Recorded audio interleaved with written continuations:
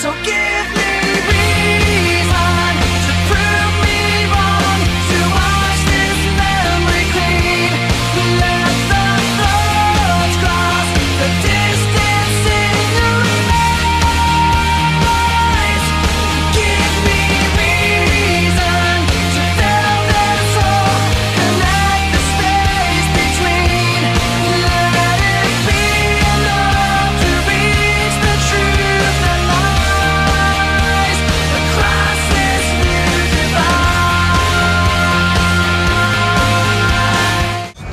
TNI Polri siap mengamankan pemilu pada hari Rabu tanggal 17 April 2019.